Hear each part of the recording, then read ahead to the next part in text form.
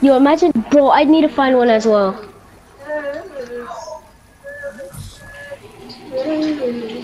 Yo, I need to find a minus weapon.